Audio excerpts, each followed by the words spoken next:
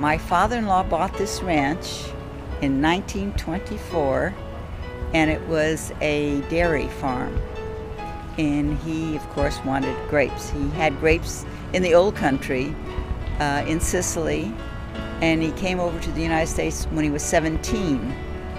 He arrived at Ellis Island, and then he wanted to come to California because he heard that's where the wine business is.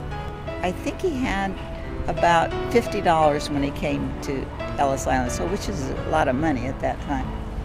And so he worked on the railroad, and then he came and worked on Hetch, Hetchy Dam here in, in our area. And he worked in the vineyard in Lodi, and he, while he was working in the vineyard in Lodi, he met his future wife. It was prohibition, and they had an opportunity to sell grapes to the Chicago area and the vicinity via the railroad. That was legal, no problem. Oh, yes.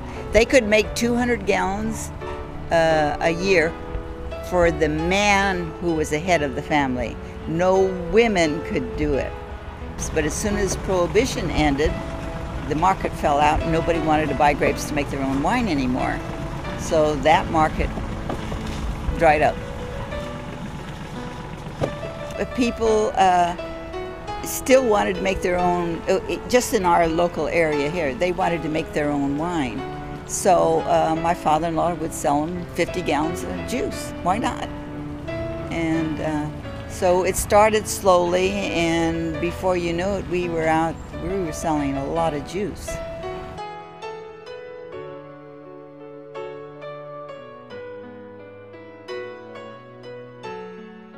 We do it because my father-in-law did it, and my father-in-law did it to take care of wine lovers, and, and so we carry on the tradition. I think it's because it allows people just to be who they are, just to relax and, and share stories, and a glass of wine is wonderful.